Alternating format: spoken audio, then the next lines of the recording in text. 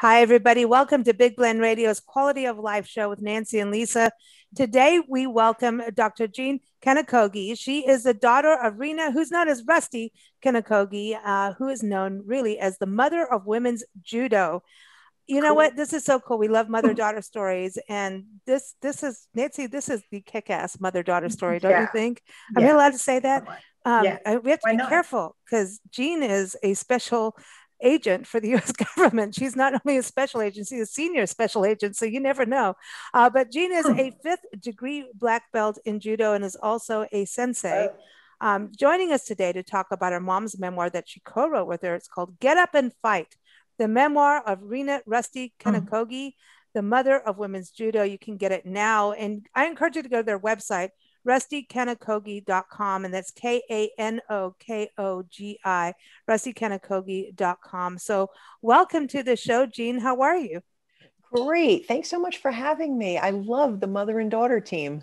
You yeah, know, thank, thank you. you. I know you know about that as well. I mean, mm-hmm. um, yeah, I mean, it, I don't think you can be as real with anybody as much as with your mom and your mom with a daughter. And it can be really good or it can really kick you in the butt. well, I had both. It was really yeah. good, and she kicked my butt a lot. Uh, we See? choked each. I, um, where else can you proudly say that your mother choked you at least three times a week regularly? Wow. Oh. No way. See, this is crazy. That that's crazy. But then people would think, no way. Then people always talk to Nancy and I like, how do you travel and work and play together? Yeah. I'm like, it's not all roses. You're gonna have your mm. time. Mm. You're gonna have your moment where we have to like deliberate. but you got to choke each other out. No, but that, but that's a, huh. I actually want to back up on all of it though and talk about judo. So, you know, I was talking about you coming on a show to a couple of friends and like, okay, what, which one is judo? So let's talk about judo because um, it is, it is also a very good practice for focus and meditation, right? And also strength. And there's just so much about it. So can we start with what judo is? Sure. Judo is actually uh, the gentle way.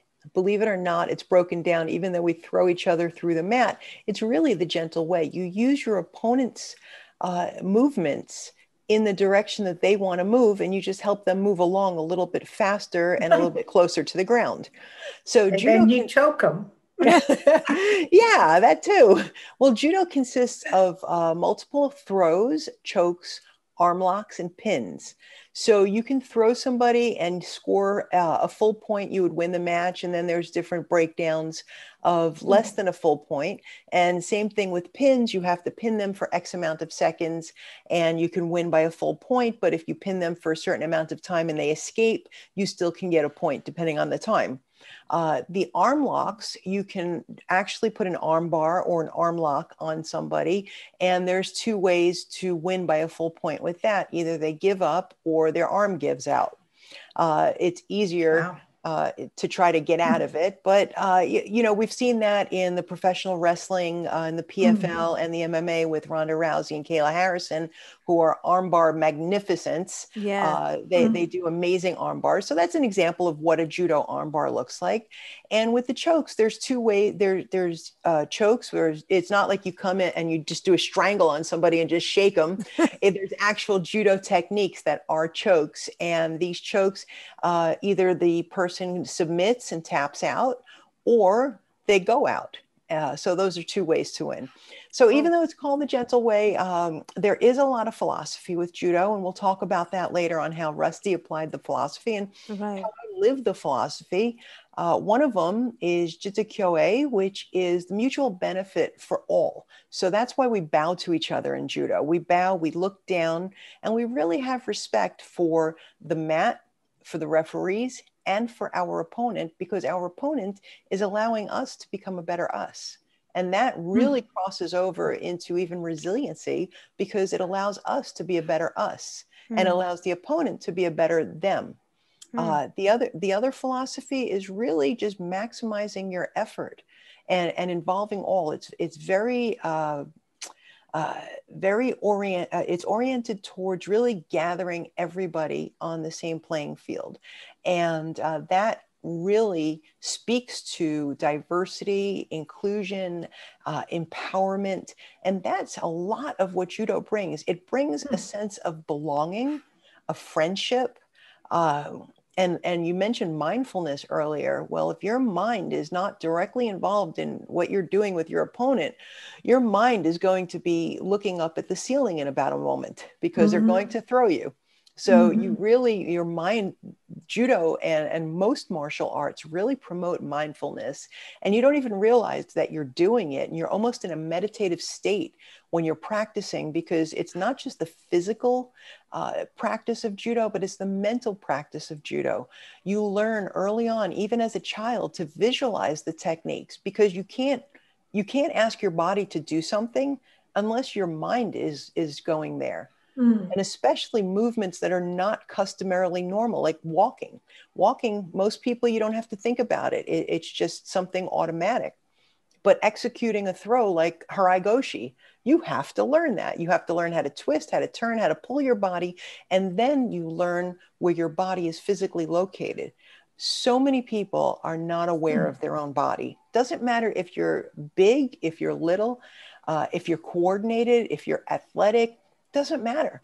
So many people have zero recognition of where their body is. Oh, I didn't know I was doing that. How many times do you hear that in, in life? And mm-hmm. judo actually makes you mindful of your own body, of where your foot actually is. Like if you know, some people they could stand and and be exercising and not even know that a part of their body is their elbow is completely sticking out. Uh, when you play softball or baseball, some people don't realize that you know you have to tuck your arm and they're like oh i didn't know where my elbow is well in judo if you don't know where your elbow is your opponent's certainly going to find it and arm lock you oh.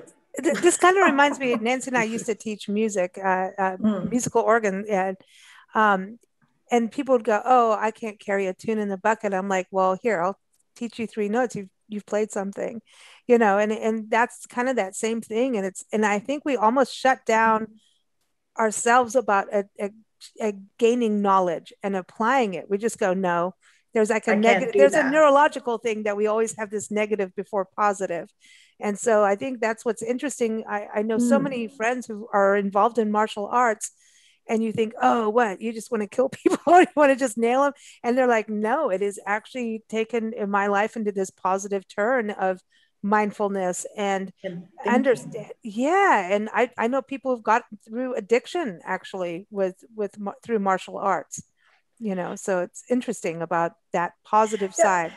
When i taught art um, the first thing people said was i can't draw a straight line and i always said well i haven't asked you to do that that's why we have rulers you know you, nobody asked you to draw a straight line as part of art but well, that was always the thing. And I that's that's it. a great segue. I mean, just speaking, mm-hmm. Lisa, to what you said, human beings are naturally negative on themselves. We we're 80% negative, and we really mm-hmm. have to shift that focus and really mm-hmm. redirect our thinking mm. uh, to something a little bit more positive. And we are the least compassionate towards ourselves. We are mm. so compassionate, so humanitarian towards other fellow human beings, but towards ourselves, you ever do something that, uh, I don't know, put uh, put flour in your coffee instead of sugar, and what's the first thing you do is you self-deprecate. The mm-hmm. first thing you do, you say, "Oh, you're such a well." Would you tell that to your friend who accidentally did that? No, we would be more compassionate to your friend. Mm. So we have to hmm. learn to be a little bit more compassionate towards ourselves. And Nancy, what you said as far as I can't draw a straight line, well, you know what? Neither did Jackson Pollock or Lee Krasner mm-hmm. Pollock. Yeah, right. Exactly. And, and, and, you know what? Lee Krasner Pollock was my great aunt. No and way. yeah, cool. and she could. My mom uh, was uh, my mom, and and she drew a lot of her toughness from Lee Krasner, and. Huh Jackson Pollock and Lee Krasner Pollock, I bet you they pro- they never said I can't draw a straight line. They probably said I won't draw a straight line. And yeah, now look, and now look at the paintings. Yeah. Yeah. See, this is what's so interesting. Wow, so your cool. mom, let's talk about your hmm. mom, Rusty. I like the name. So you got okay, you're going to be the hammer or the nail, but I'm going I'm going to be Rusty and don't mess with me. I love the name Rusty. And I want to talk about how she got that. But her start, I mean, was running around the streets of Brooklyn apparently and, you know, then you know, judo comes into her life. How did that happen? And here she really stood up for women, And as you do. You continue on this legacy, um, not only in judo, but just for women and inequality, which I love. And Nancy and I both, um, we still have to let people know that women can do things. And um, your mom, you know, winning her first title and it being taken away, like, yeah, that sucks. I have to watch my language when I hear things like this. yeah. Jeez. Well, you know, it, it's it's such a, a great story because in Rusty's story, you can really pick out these words of empowerment and inspiration. Mm-hmm. And before she even knew how to pronounce them or spell them, she was living them. Mm-hmm. And that's how you're really true to yourself and you find your purpose is you actually live your purpose. Mm-hmm. So with Rusty, she grew up in a in Coney Island in Brooklyn, New York in the, in the 1950s. And mm. she she had such a tumultuous childhood. Her father was a gambling man. He was always drinking, uh, very absentee, took the family money constantly. And they lived in a small railroad apartment. So Rusty's mom, my grandmother, worked in a candy factory in Coney Island. Oh, wow. And yeah, yeah, she, but unfortunately back then, you know, the labor laws were a lot different. So she got her hand mangled in one of the machines, and oh. to continue working, she had to take something I think it was called Pantopon, which was an mm. opioid back then. Hmm. And uh, then she kept on always having pain, and she kept on taking more and more of the opioids, and oh. that's pretty much how she sustained her life was with through uh, the opioids and nicotine. Oh. Uh, so wow. it, it and, and, Rusty's parents didn't really talk to each other. They threw things at each other. They were yelling at Yiddish, in Yiddish and German at each other. So wow. the big hmm. family uh, grounding wasn't there. So when Rusty was growing up, she had babysitters. And given that she was in Coney Island, her babysitters were actually the stars of what sadly back then they called the freak show. And her two babysitters were, mm. well, the Pinhead sisters, which were these really sweet wow. sisters, and they just had smaller heads. So they put them in a freak show and call them pinheads. Oh my God. And Milo, the mule faced boy, which really was a young man who was just very, very kind and sweet. And he had, uh, I guess, buck teeth. And, but that's, they just renamed him Mule Faced Boy and, wow. and they made him sing on stage and really exploited these people, which is horrific, wow. but that's what they did in the 50s. So these were her babysitters. And she said the Pinhead sisters and Milo showed her at a very young age that it doesn't matter what you look like, it doesn't matter people calling you names. It's how you treat others and mm. how, uh, how they make you feel around them. And Rusty felt like family. She belonged because Rusty was also different. She was bigger than most, mm. outspoken more than most and she was always she was rough around the edges and the big thing in coney island she was the mm-hmm. jewish kid there everybody mm-hmm. else were the catholic kids so she was the mm-hmm. jewish kid so she was the anomaly of the area anyway mm. so they really embraced her but she also built her character knowing that you just don't judge a book by its cover yeah. and you take people for how they treat you and how they treat others mm. you know people could say oh i'm this and i'm that and i'm this but Rusty said, you know what? Show it. Don't don't say it, show it. Mm. And she, she held people accountable. And that resonated throughout her life. So fast forward a little bit, uh, she became a street gang leader of a female gang called the Apaches because she had all this pent up energy. Uh, she got involved. She recruited these gang members, these other hmm. females, and they had these chartreuse jackets and pedal pushers, uh, something like right out of out of the movie Grease. But they actually fought with other neighborhood females. Oh, wow. And no weapons back hmm. then. Uh, you know, back then it was strictly fist fighting, schoolyard fist fighting. Uh, one mm-hmm. day she was supposed to have a schoolyard fight with uh, another group, and the other group showed up, but her, the rest of her gang did not show up. And Rusty Ooh. took every bump and bruise that they gave her. Then, all with her face all muddied and bloodied, she went to each and every one of these girls' houses that were supposed to be in her gang, and she beat mm. the daylights out of each one. Oh. it was all about accountability. If you give your word, if you say you're going to do something, you do it. Mm. Wow. And back then, there were no cell phones to text to say, hey, not making it. Yeah, excuse me, late for the Yeah, flight. No, that, Don't yeah, do it. Oh. yeah. Well, with all of this pent up energy, Rusty started making some poor choices and ran in some bad crowds. And uh, she didn't, she got shot out. Uh, she, act, I, I think the bullet grazed her. Uh, she was Mhm. arrested and she was put in the woman's house of detention as a young girl. But at the same time, she also had a job at Ma Bell back then. So they made excuses for her saying that she was out on sick leave or something to hold her job until she Mm. can get out of jail. Wow. Uh, she managed to get out and she said, That's it. I have to turn my life around. I Mhm. can't do this. I really need to do something with my life to make uh, something meaningful. And uh, she thought maybe, you know, at this young age, at 18, she married her first husband. Hey, I'm not a kid anymore. I'm a woman. I'm a married woman. Uh, she was pre- she got pregnant, and that's it. I'm going to be a mother. Um, that that's it. This is me. Unfortunately, her 1st Mhm. husband had a uh, drinking problem, and it was it was very it was it was normal back then, I guess, for a lot of drinking problems in these areas. But she went to Al-Anon because she wanted to really be supportive of him. And uh, he, as she was in Al-Anon, he was at the bar, so that really Mhm. wasn't working out too well. But when she was in Al-Anon, she met a friend, and he looked really strong, like he worked out. So she just asked him, "Hey, what do you do? What do you work out?" Because Rusty was into fitness, into working Oh. out uh, part of her- what she used to do is her workout she would used to lift the bus stop signs now i don't know if you guys remember but back then the bus stop signs were these concrete uh, they look like concrete flower pots with a stick or with a metal rod and she would just Hmm. lift these things as her exercise so she was curious what this guy did and he told her well this was back in 1955 well i do judo now, at that time, uh, she didn't know what judo was. And he said, Well, you know, it's a Japanese martial art. And at that time, World War II, let's see, 1955. So this was not a good Mm. time to want to learn something, especially Oh, from yeah. Japan or from Germany. right. You know, a- and being a Jewish female, you just didn't want to go. Oh, my there. gosh. Yeah. But when um, he said, Well, let me show you. So he picked her up on a hip throw and he lifted her like she was a piece of paper now. She was five foot nine, 200 pounds, and she just went flying.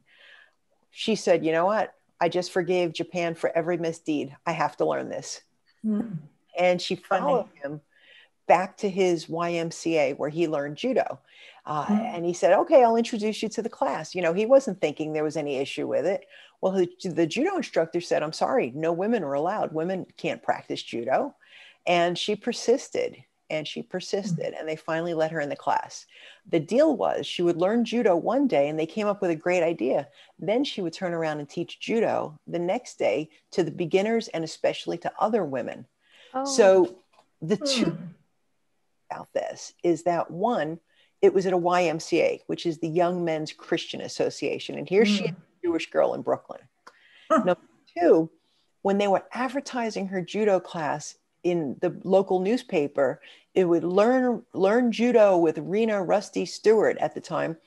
And in the same on the same page, you had an ad, how to serve your husband and treat and press his pants Oh, you know, just talk about the times, you know, how to be a good Mm. wife to your husband and make sure he has a Oh hot God. cup of coffee when he comes home. oh no. And you're going to be dressed in saran wrap when he comes home. It's getting to that era. yes. Or that was the 70s. It, it evolved. Wait, wasn't wasn't that in fried green tomatoes? Something like that. Some crazy, yeah. Yeah. Oh, yeah, there was it that that book, the um, oh gosh, Your was it the Joy of Sex, written by M, and she had all these really insane how you should please your husband ideas, and and one was that you would greet him at the door wrapped in saran wrap with nothing else on, obviously, but like okay, Why? Well, yeah, I I don't know. Maybe to look like a sandwich. I don't No. know. just because you're st- and i guess because obviously you could see but um you're still kind of close Wrinkled. and he had to unwrap you so you didn't miss the fun of unwrapping I don't know. Okay, so so this is what's going on. But well, this is what women have gone through And here she is doing completely like, hello, I'm going to kick your butt. Yeah. Well, here she was. Now she's learning judo. And uh, in 1959, she went with her team to the YMCA championships in Utica, New York. So she went there and she brought her judo uniform, which we call a judo gi, with her so she could be part of the warm up. They have form mm-hmm. practice mm-hmm. and she could pretty, pretty much what you call being a body to be able to help warm them up. And uh, as she was on the mat and she was warming up with them, she used to think, wow, wouldn't it be great if I could compete here, if women can compete as well? Because mm-hmm. I mean, there were just no women there. And she just assumed women were not allowed. Well, she heard a scream on the other side of the mat and she looked over and unfortunately it was one of her teammates. He blew he hurt his leg or he blew out his knee mm-hmm. or something during warm up. The coach called her over and said, "Hey Rusty, get ready. I'm putting you in in his place, but I don't want you to call attention to yourself. You have to keep it low key." So hmm. Rusty took this very seriously. She went, and they didn't have any female locker room. So she went into the closet, into the janitorial closet, or into a hmm. bathroom stall. And uh, she took an ace bandage and she wrapped her chest. Hmm. She wasn't. Uh, she she had short hair. She she was big and tall and strong, but just to make sure that it wasn't a giveaway that she was a woman, she put it around her chest, uh, and to look even more androgynous. Mm-hmm. and she got into the into the competition. She saw her opponent. It was this big hulking guy. He was staring her down like guys who were about to fight do. She bowed onto the mat bowed to the referee and she remembers the coach said just pull a draw. And she's thinking but i trained just like all mm. of this just like this guy. I mm. trained with the other guys. I trained just like my teammate who i'm taking his place. Why should i have yeah. to just pull a draw because why why don't I have the burden of expecting yeah. to win? It's unfair that they remove that burden from me just yeah. because I'm a woman. So as she was competing, she heard her team yelling "Go Rusty!" She heard in her in her mind's eye, "Go Rusty!" and she just went for it Mm, it, was like a battle a, a, real battle because in order to get your grip in judo it's almost like a fist fight to grab exactly where you want to grab on the judo gi. And she got her grip and she came in for a throw. She committed herself 100% and boom she threw this guy for a full point smashed him well, they got up, they bowed out, and her team was just so excited because now her team won first place. Wow. Not only did she win, but her team now that was that was the decision to make her to give her team that needed point to win first place. They all got their medals. They got the team cool. trophy. And then the tournament director called her aside and uh-huh. he asked for a word and she i remember her telling me and, and it's really highlighted in the book that she said, Wow, well, first of all, I can't believe I got a medal instead of a citation for fighting. That's number one. I didn't have to go to jail for fighting. This is great. The next thing is she thought when this guy said, Hey, let me have a word, he maybe he's going to compliment me on my technique or he's going to say, Hey, well done. But then when somebody says they want to talk to you, the first thing that our minds mm. go to again yep. is the negativity is, Oh boy. Yeah. So he didn't mince his words. He just looked at her and, and he was so accusatory and he goes, Are you a girl? Like, like she did something wrong. And at that time, she felt like she did everything wrong just for being a woman. And she just held her mm-hmm. head high and said, No, I'm a woman. Right on. Mm-hmm. And he said, Well, I'm going to need that medal back because your team's otherwise going to have to forfeit because women are not allowed to compete here. You're not allowed. And no she talked to her coach and her teammates and they said no rusty you don't give that you you you don't give that back mm, uh, but she decided you know what no i have the respect of my teammates and they earned this there's no reason why they should be punished because mm. they're not the woman so she hands the medal back to this guy and um, she was thinking in her mind like i'm not like she was she wanted to cry so bad but she's like this guy doesn't even deserve my emotion and mm-hmm. she handed that medal back and that was the pivotal moment in her life where she said no woman will ever suffer such an indignity ever again not on my watch not mm-hmm. in my world i have to do something what that something mm-hmm. is i don't know but i'm going to change this this is never going to happen again Mm, cool. gave the medal back. And in 1959 was the pivotal moment of her life. And everybody, every woman now that puts on a judo gi that says, I want to be an Olympian, I want to be a world champion, can only say that because of Rusty and that moment. That's awesome. So fr- thank you. Thank you. And, and from there, this is where the flourishing happened. Rusty found her purpose, although it was there all along. And in that purpose was a lot of other good stuff. So she decided women's judo needs to be in the nationals. There was no national tournament for women. Uh, and, and furthermore, women uh, judo in general was not even heard of in the Olympics yet. 1964 was the first time men's judo was allowed into the Olympics, and that was in, in Japan, in Tokyo. Uh, she wanted at least women to start competing. And so she was teaching more women. And she found a woman here, found a woman there. And in 1974, she got a team together to go compete in the nationals, the first time women were allowed in the nationals but that was the beginning to the end um, and the end to the beginning. Mm. She was supposed to fight in one weight category, but her very best friend, Maureen, was also in that weight category. So Rusty decided, I'm going to go down a division and lose 12 pounds overnight. She put on a sauna suit, did everything she could in the sauna, jumped up and down, got on the scale. Um, she made the weight and then landed in the hospital for dehydration. Oh, yeah. So, so that that was the end of that. But now Rusty said, "This is what I have to do." She was the coach of the U.S. team. They started putting together a team to go and compete overseas at the British Open, the French Open, the German Open. The Europeans were way ahead of us mm. in hmm. having all of these international opens uh, Rusty was telling USA Judo at the time, hey, I want to, you know, we should compete internationally in women's judo. And at the time, USA Judo was run by a bunch of misogynists, a bunch of good old boys saying, oh, hell no, we're not going to have any women competing. Oh, no, women shouldn't be competing. Uh, they even told her at one point, well, you know, your reproductive parts might get hurt. Mm-hmm. And she said, Well, then men should quit judo because our parts are on the inside. Yours are not. No, hello.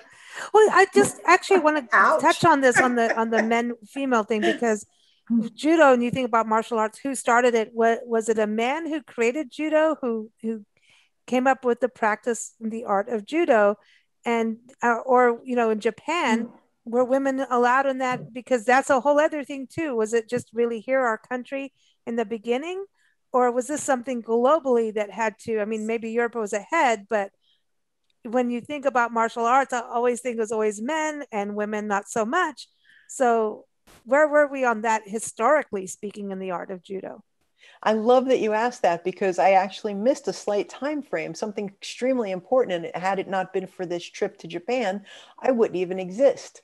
So after Rusty, after the 1959 uh, tournament, you see, judo was uh, the father of judo was Professor Jigoro Kano, mm-hmm. a Japanese man. But in his writings, if you really read them carefully, he never excluded women. He mm-hmm. included everyone. It wasn't explicit the way in his writings, but he never uh, said, no, this is for men only. Mm. So Rusty got to go to Japan. She she went and she trained in Japan, which in the 19 in 1962 was again unheard of. A yeah. woman getting on a flight, a single mom at the time, getting on a flight, going to Japan. She didn't speak the language. Uh, hardly had any money. They, they raised some money, and, and a friend of a friend let her borrow his friends and family plane pass. I mean, back then it was so different she goes to Japan and she goes to train at the Kodokan. And that is like the mecca, the mm. main, main place for judo they had the men's side and they had the women's side. So the women's side, all of the all the women were doing kata, which is form practice of judo. So it was non-combative and it was really getting the form down to a science. And Rusty learned a lot from these women. Uh, these oh, women. Wow. Uh, she became mm. friends with Sensei Keiko Fukuda, who was uh, one of the, the mother of kata. She was just amazing. And uh, all of these women that she trained with, but Rusty was hungry for more. Rusty wanted to fight. She wanted the combative side of it. So she, again, just like she did at the YMCA, she went and to the men's side and kept asking. Finally, one of the, the senior men said, okay, let her in. Well, she embodied the term, the Japanese mantra, fall down seven, get up eight, because that's mm-hmm. all she did. They included her, they treated her like one of the guys, and they kept on throwing her, and she would get in a couple of throws here and there. She would just keep mm-hmm. getting up. She would not stop. And it's interesting because she made some really good friends. And one friend used to watch her from uh, behind the curtain. He was scared of her. He later on he admitted he's like, I was scared of her. I didn't know what to think. Who was this hmm. gigantic mm. New York woman? And he mm. went home, uh, and his father said, Hey, did you see that woman on television at the Kodokan, the American? And he said, Oh yeah, she's my friend. He said, Well, you have to marry her. She's going to give oh. you big babies so my father ended up marrying her. Oh, there you and go. Here, and here's the big baby right you here. You go, girl. You go, girl. So, so this is, you know, this whole full circle moment of just going for it. And it's kind of like almost like blind passion where your body just keeps making you go forward. It's interesting about that because I, I think that she had that chutzpah, right? Of not letting anybody say no. And I think you know that's something important in life mm-hmm. now and and women still we are still fighting for yeah. our oh, rights yeah. we're and fighting we for all yeah probably will yeah just just and sometimes i think this is all i don't want to get religious. I think it stems from the bible. Uh-oh. We're gonna get yeah. it, i mean seriously because we weren't like our own person. We had to be made from somebody else's rib. It's mankind. so so therefore, if it wasn't for men, we wouldn't be here. And I keep thinking logically, if it wasn't for women, nobody would be here. So I mean, it takes both. It does. It takes both. Yeah. And you know, with Rusty, believe it or not, it was not just women that supported her. Mm. Men got got on board with her. Men believed mm. in her. Uh, matter of fact, so we fast forward and she she wanted women's judo to be in the olympics how do we hmm. do this how do we how do we figure this out so they just uh, the us judo eh, told her well rusty you want to have women's judo considered as an olympic sport well we need a world championships and we need and in order to have a world championships mm. you have to have 125 people from x amount of countries and okay, so go ahead. Mm-hmm. It was like a schoolyard fight. Like, yeah, you want yeah. this? Well, go ahead. Go, go, go, yeah. go, away, little girl. Figure it out. She goes, you know what? We will. We will have a world championships. He goes, and, and then I remember him, uh, the conversation. He said, oh, yeah, well, where? And of course, Rusty said, well, Madison Square Garden in oh, New yeah. York. Just like that. And after she said those words, you know, she's a woman of conviction. And also, she didn't want to say, well, I was kidding. No she uh-huh. said, That's it. So she came to our judo class that night and she said, Well, guys, I have an announcement. We're holding a world championships at Madison Square Garden. Needless to say, my father just dropped whatever was in his hand. Mm-hmm. And uh, one of our senior students said, Well, Rusty, how are you going to do that? I think there's like $140 in the bank. Uh, that was it. She was determined.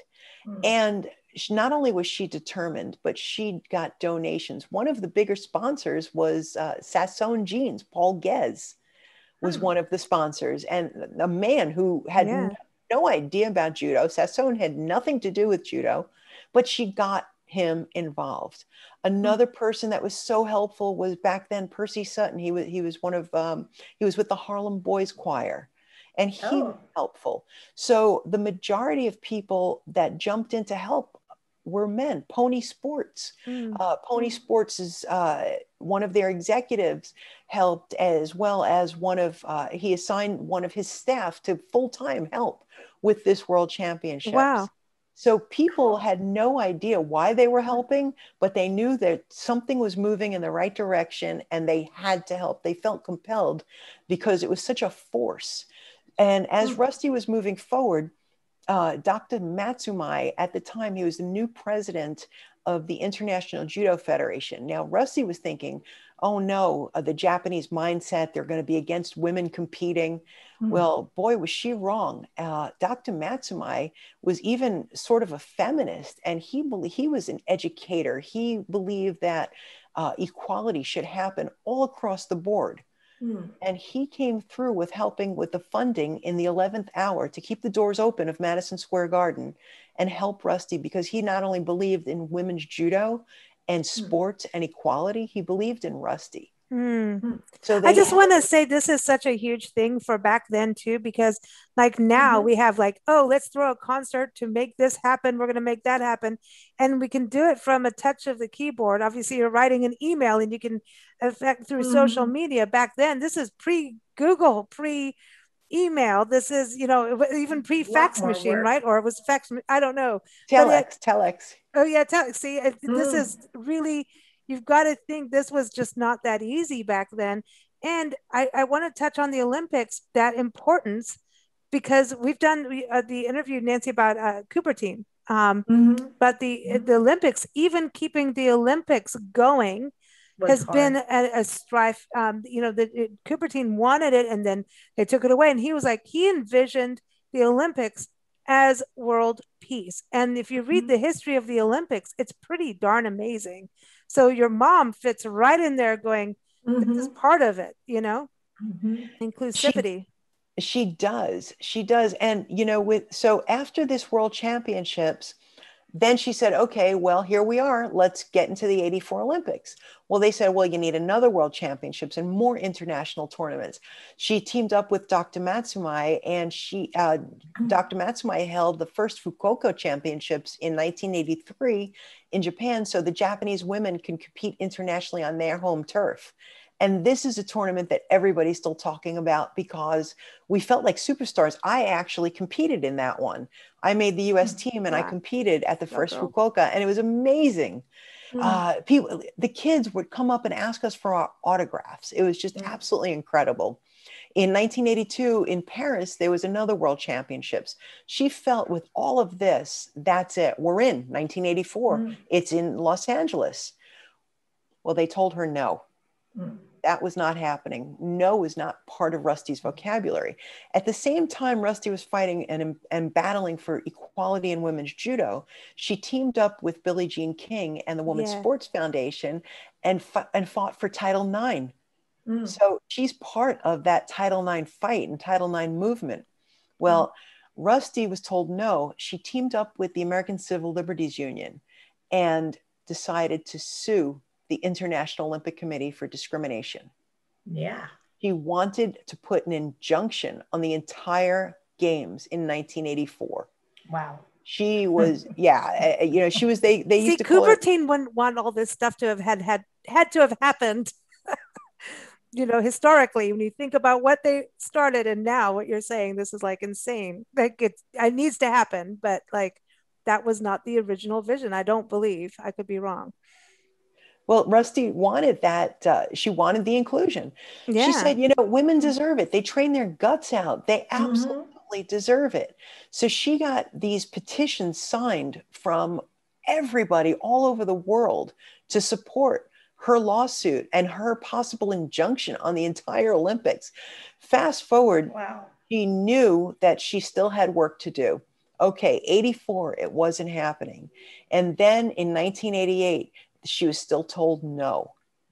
Finally, with every lawsuit and the help of the ACLU and all of the uh, the force and the pressure, the men had to give up one weight category to have three weight divisions for women. And in 1988, hmm. Rusty marched into the stadium as the US coach and was the Olympic coach with her mm. three person uh, three person team uh, that marched in, and that was her gold medal. Women's judo was now an exhibition inclusion in 1988, and in 1992 in Barcelona, it was completely fully included. And what's really cool about this year's Olympics is judo is returning home to the motherland. Mm. And because of the mother of women's judo, this is the first time ever they will have a mixed team tournament, equal men, equal women. Wow How cool is that? That's judo cool. Motherland, and because of the Mother of Women's Judo, this has happened. This is so cool. Now, are you going to compete? Where are you on in competing? Uh, I'm retired. I was mm. um, I was one of the heavyweight fighters on the U.S. Judo team. Uh, I blew out my knee right before '88, so mm. that killed. You know, it was it was so bittersweet because I was so happy women's judo was included. That was my dream. I was I was going to win that gold medal in '88, mm. and then I ended up uh, having a gold medal surgery instead. Yeah. Uh, I blew it out at the Pan Americans. So that killed my Olympic dream, but my mother had her Olympic dream. We get together, wanted... right? Yeah. I mean, if you think about it, I know, uh, and you know, writing the book together was it something i know she's passed on now and sorry about that but she's alive in so many yeah. women right and, and around the world through this and through what you're doing. Was she writing the memoir or did you write it together or did you take her notes? And i mean because i know she's co-author and billie jean king is uh, you know in the, in the introductions as well. Um, so how did this all come together doing this memoir? Because i know it's been in the works well, in 2004, 2005, Rusty was shopping around. She wanted to get her story published. And she was working with different writers. Uh, every writer she worked with, she would get frustrated because they couldn't capture her voice. She mm. said, This story has to be told in my voice. Uh, so then uh, she would get get so frustrated because in one, you know, when somebody says, "What's a Michigana?" Rusty would mm. say, "Oh, if you don't know what a Michigana is, out next, next, next." Yeah. Uh, mm. So somebody who can capture her voice and still write the story and understand the judo and the nuances, but make it palatable for the non-judo person because it is more than that. It's it's a love story and it's perseverance. So she started writing her own memoir and mm. we would sit and write it together. She'd like, okay, what are you doing? I said, well, I was about to. Good, come over. And that's how the conversation was. I said, but I'm at work. Okay, good. After work, I'll see you. What time are you going to be here? Yeah. and that's how it would be. So I'd go over the house after work and we would sit pen to paper or she would type out a chapter in the day and then I'd go through it and either redline and fix it and say, okay, this is better. And we would do that for every mm. single bit and then she i would and and we had this deal i'm like okay the statute of limitations has expired for everything so but make sure because mom, I'm in law enforcement. Okay. Yeah, you got to exactly. keep that in mind. So, well, she said, well, prepare yourself because you're going to learn a few things about me. Mm. Uh-oh. Uh, oh. she, she, how she boosted cars when she was mm. younger. Um, how her mom, her, her and her mom to raise money. Her mom would throw her in front of a car. Oh God, oh. not the insurance oh. thing, the oh. insurance scams. well, oh, it yeah. wasn't the insurance scam. It was more mm. like they hit the brakes and, and Rusty would look so frazzled because she wouldn't, it would be a slow moving vehicle. So she kind of just push her. And now keep in mind the time, the era, 1950, mm. 1950. So the era, okay, so the Studebaker would drive very, very slowly. Rusty would like just jump out in front and the guy would hit his brakes and then he'd say, Oh, you poor thing, can I buy you an ice cream? Would that mm-hmm. make you less shaken? And she'd say, Sure. And that would be it. So mm-hmm. it, it was very more a lot more innocent than you know the nefarious what we think where, where our minds go today so yeah just well, our life has changed i know you're yeah. in law enforcement as special agent I Nancy, Nancy I was going we've got a secret agent. She goes, no, she's got the specials. It's a, it's a saying with us. It's the specials. We do a lot of, we, you know, as we travel the country, we do a lot of pet sitting and some dogs and some cats, they require the specials to get them to eat. It's the specials, but uh, mm being a special agent and from your background in judo and also your mom, being an investigator, doesn't all of that help you do? I mean, you've done some amazing cases, 9 11. Um, doesn't that help you with your focus and then persistence you know in pursuit of getting the story well, it does. Uh, as far as, you know, what I try to do is uh, I'm very fair. I really want to gather the facts. You know, we have this, this mm-hmm. joke, you know, just the facts, ma'am. Right. But I, I want to know Jack the facts. Webb. I, I want to, I want to know the truths. And even if it's your, your version of the truths, I want you to talk to me. You know, mm-hmm uh, I, I don't believe in confirmation bias. Oh, go get him to confess because you know we think he's mm-hmm. good for this. No, I, I don't believe in that. I mm-hmm. believe in developing a rapport. I believe in talking to people, and I really believe uh, sometimes there are just good people that make poor choices, and then sometimes Mhm. there are just people that are inherently bad. Mhm. Uh, Mhm. and, and my job is not to judge you. My job is to gather the facts and let the prosecutor do what they want to do with it. That, Mm. That's my my job is really to get a neat little package and protect the public. Uh, Mm. That's what I've sworn to do. I've sworn I have a, a duty to protect the public. So I've uh, you know part of my job is I do arrest warrants and search warrants and serve subpoenas and and Cool. do in, interviews, interrogations, um, and I love talking to people. Uh, depending on what I'm doing. But you know what? The judo has really allowed me to uh, be comfortable with use of force. Mm. I feel very comfortable hands on. So it doesn't have to, if possible, escalate to a, a deadly force situation. Um, my judo training has allowed me to stay focused on what I'm doing, not get distracted, but also really take things in so that I can apply my skills with the least amount of force necessary for the action that I'm about to do. Now, Mm. granted, if it's full on, all on, then that it is what it is.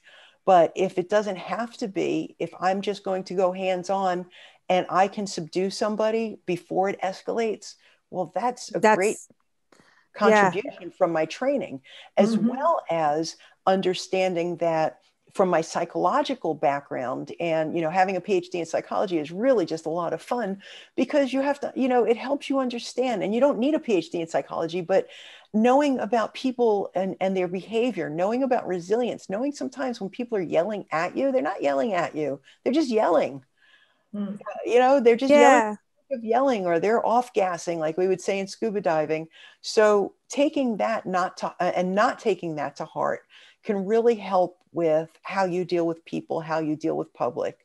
And granted yes a lot of things are changing. Some things are changing for the better. Some things are not changing for the Mhm. better. Um, you know but change is slow. You know the wheels of Mhm. justice turn very slow. But Mhm. being uh, having a judo background and having rusty as my mom was so impactful in my career. And also some there are some funny moments where i would have somebody in custody and uh, i would say hey listen i'm about to interview somebody but anytime she called me i'd answer the phone because it's my mom and that's what i would do and she would tell me well make sure you ask him this and i'm like mom i got this or she'll call me and ask what are you doing oh, well i'm on surveillance well it's cold out are you wearing your vest yes This sounds Well, very wearing a sw- familiar. are you wearing a sweater? Yes. Well, don't let the bad guys see you. Well, if I stay on the phone, maybe it's a good idea if I get off the phone. or when we were writing the book, she would write a part of, part of the chapter and send it to me and then call me as soon as she hit the send button and ask me, Hey, did you read my email? Yeah. Yes, this sounds familiar. And now you also call her Mhm. Rusty. You know, like I call Nancy Nancy, and I did Mhm. it since I was a young kid because when she had her magazine in South Africa, Yeah. you couldn't just pick up the phone when someone called in and go, "Hey, Ma, there's a call for you. It's Coca Cola wanting to know about their ad." That didn't work. You know, Well, and it's so. How did it go for you to call her Rusty? I only started calling her Rusty uh, for when we started this project. Mm, I only referred to her as Rusty when we were international, or somebody would say, Hey, somebody, you know, who's the coach? And I would say Rusty, not my mom. yeah. But it was so funny. Rusty would always, we'd always call Rusty mom or the mother. Uh, not only was she the mother of women's judo, she was everybody's mother, but Mhm. sometimes she was just straight up the mother. Mm. Awesome. See Don't that mess with that's the it. I know you don't mess with the mothership. You know, that's what we say, the mothership. But it's Yeah. you know, I think that's a very interesting thing because uh, having that mother-daughter bond, you know, they always talk the mom and the and the daughter and the and the father and then the the mom and the son.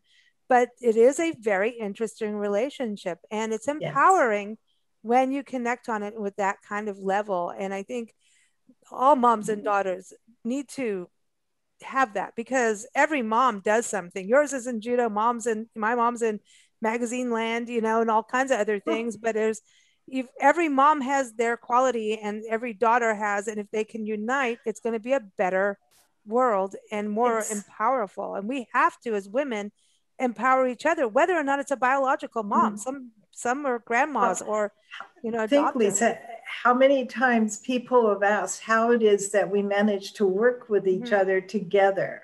And for this, the amount of years that we have done that.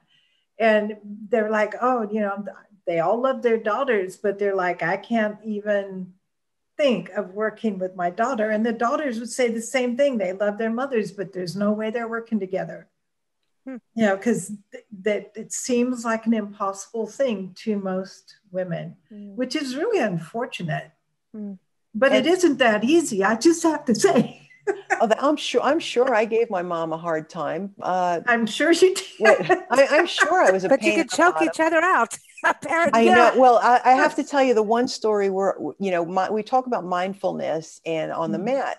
Well, my mom was teaching at the same time, but she was training me. So there's one part where she's anchored down by two grown men, and I am to attack her with a judo throw at full speed and full power. Well, she was, she turned her head to direct another student to do something. So she wasn't being very mindful. So because she wasn't being very mm-hmm. mindful, and the two guys anchoring her were not being mindful because they thought that we were taking a break, the only one who didn't think we were taking a break was me. I came in full speed, full attack at our judo school on a throw called osoto gari, which is a rear weep, uh, reaping leg technique. So you sweep the leg out and they fall backwards. Okay. Not only did I do that to poor Rusty, oh my goodness, I hit her so hard we went through the wall of our judo oh. school. So the two of us are laying there with plaster all over us. My father's on the other side of the mat. The judo students were terrified. They did not know what to do. Oh, Rusty gosh. and I just sat there looking at each other. Of course, probably the little birdie going over our head, laughing. Yeah, like we could funny. not catch our breath. My father walks over, this sweet Japanese man, and says, "Oh, now I must fix wall," and walks away. the students still didn't know what to do, so of course my mother's like, "You morons, help us up!" We're stuck in the wall. That's funny. That's funny. That is that funny. Really, it's funny. I love it. I, I, hmm. love that, you know, and also uh, I want to tell everyone the website, right, uh, to go to because this isn't just a website. Uh, go to Rusty Kanokogi and it's K A N O K O G I. Uh, go there because this is a project which I love. So it's the Rusty Project. So this is something that is, you're not just, here's the book. This is something that you're just continuing the movement for women. From what I'm it is. Yes. Uh, and this is going to be through speaking, through the stories that I use. You know, storytelling is historic as far as mm. transferring messages. And uh, I, I, believe it was different cultures use storytelling mm-hmm. to convey mm-hmm. messages. And with Rusty's book and Rusty telling the story in her voice, it gives stories of empowerment and get up and fight. Now, behind me, you see it says, In life, either you are the hammer or the mm-hmm. nail, be the hammer. But here's the thing what is the hammer? The hammer is mm-hmm. not a bully. The hammer is something that's fluid, something that keeps moving, something mm-hmm. that is strong, something that has direction. The nail just stands there and gets hit on the head. Mm. So, what do you want to do? Do you want to stand there and get hit on the head, or do you want to be the hammer to build something? Because, granted, you need the nail to hold it together, but mm-hmm. you need the hammer to make it happen. So mm-hmm. that's where that comes from. And also, get up and fight does not mean go outside and pick a fight with somebody. Right. Your, your get up and fight is personal. Get up and fight is maybe getting up and getting out of bed that day, maybe deciding to go on further that day. Maybe your get up and fight is as small as waking up and getting out of bed. I mean, that everybody has their different get up and fight. Uh, one of mm-hmm. the things I volunteer as the director of mental health and peer support for Federal Law Enforcement Officers Association. Uh, what I do is I help people with their get up and fight, other mm. federal mm. agents, uh, current and retired. Mm. So part of Project Rusty is reaching out and helping people find their get up and fight. Their get up and fight is through Rusty's diversity and inclusion. My judo school was in Flatbush Avenue in Brooklyn, in one of the roughest parts. So mm. I grew up on the mat with my brothers and sisters from Haiti, from Jamaica, from awesome. uh, rich kids, poor kids. It didn't matter. Mm. We were on the mat. We were all one. Mm. So it did not matter. So before even diversity and inclusion were, were a narrative, this was my life. This is what I lived. This is what I continue to live. And this is part of this empowerment because I want everybody to know that you can be anybody. You can be a poor kid from Brooklyn and change the world like Rusty did. And Absolutely. With not a penny this in her pocket. Yep. Exactly. Exactly. What a great yeah. story and something to continue to live by. It's it's a living story. And mm-hmm. I love that you're moving it forward and keeping people inspired to to kick some butt and be the hammer. Now, before you mm-hmm. go, I know you've got a Facebook, right? You've got social media going on on Facebook. So I was on there today and I'm like, who is that cute little puppy? Who's that puppy? well, if you go on our website, you'll see he's part of our team. That's yes. That's Eddie. He uh, we adopted him uh, from the Monmouth County SPCA, and I mentioned that because they're going to be getting the proceeds to our upcoming June fifth global release launch. Uh, so we're going to make a donation to the SPCA where we adopted Eddie. Uh, cool. and yeah, nice. little, little, crazy Eddie. He makes sure that. Uh, I get a few miles of a walk in a day. Otherwise, I have to buy him a hamster wheel or treadmill. Uh, but he's he's the sweetest thing ever. Awesome. I love that you rescued a yeah. pup. Uh, it's so important that we take care of pups. And I know during COVID, a lot of people rescued animals, and I'm like, please stay with them.